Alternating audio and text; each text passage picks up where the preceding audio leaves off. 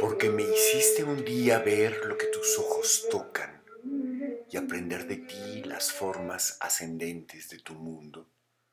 Puedo decirlo. Me detengo en tu luz, su veladura, la línea que corta a la nube que cubrirá el sol que llevamos dentro.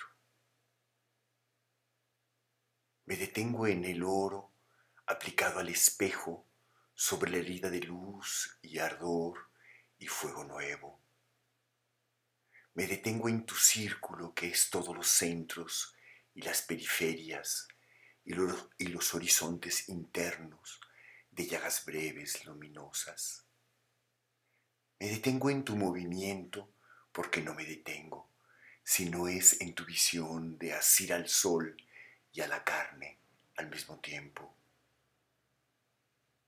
viajera de la mirada más potente. En tus manos los círculos reviven cuando pintas y velas tu visión y la haces mía.